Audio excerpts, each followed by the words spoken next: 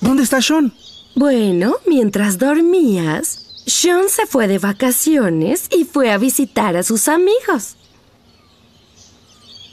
Ah, bueno, qué bien por él. Sí, pero... ¿Qué?